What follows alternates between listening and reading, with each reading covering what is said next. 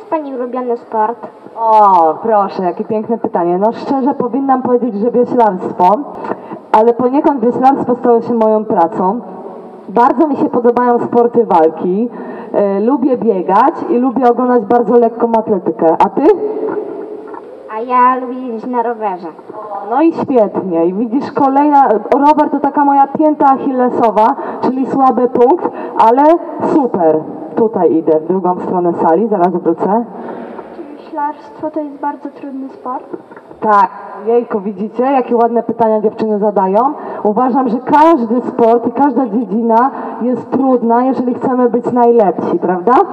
Ale tak, wioślarstwo jest trudnym sportem, ponieważ jest to też sport wytrzymałościowy i ten taką najlepszą formę, że tak powiem, zyskujemy z wiekiem, bo musimy wypływać te kilometry i przerobić pewne rzeczy. Tak jak wspomniałam, nie można od razu trenować wioseł, e, ponieważ są bardzo duże obciążenie, ale później przychodzi taki, taki najlepszy szczyt formy i jest to trudny sport, ponieważ musisz wykazać się cierpliwością. Jeszcze Wam powiem rzecz, jak ja byłam taką młodą zawodniczką, strasznie się denerwowałam, że nie mam od razu dobrych wyników i tak jak Wy już macie te medale, to ja nie miałam od razu tych medali.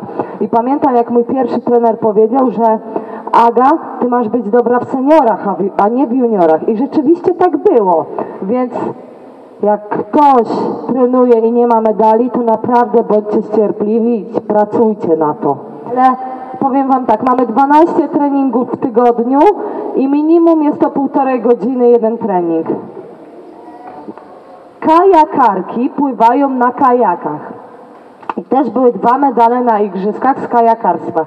Wioślarki, czyli między innymi ja, pływamy na łódkach i to jest ta różnica. U nas na naszą łódkę nie mówi się kajak. Pamiętajcie, to jest różnica.